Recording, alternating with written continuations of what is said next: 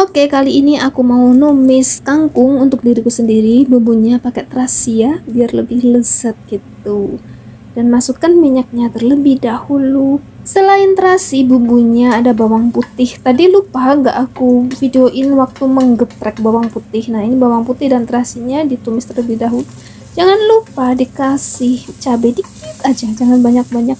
Tumis hingga wangi, baru setelah wangi masukkan kangkungnya. Ini kangkung sisa tadi malam.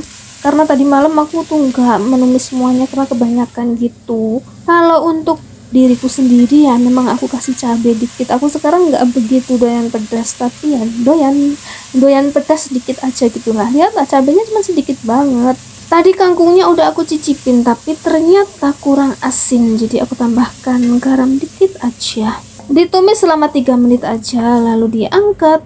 Dan ini karena sisa nasi tadi malam hmm, sedikit banget mau diangetin juga uh, ribet ya karena sedikit jadi aku tumis aja. Bukan ditumis ya. Intinya diangetin kayak gini nggak tahu ini namanya diapain. Oke sudah siap sarapanku. Aku mau sarapan dulu. Bye bye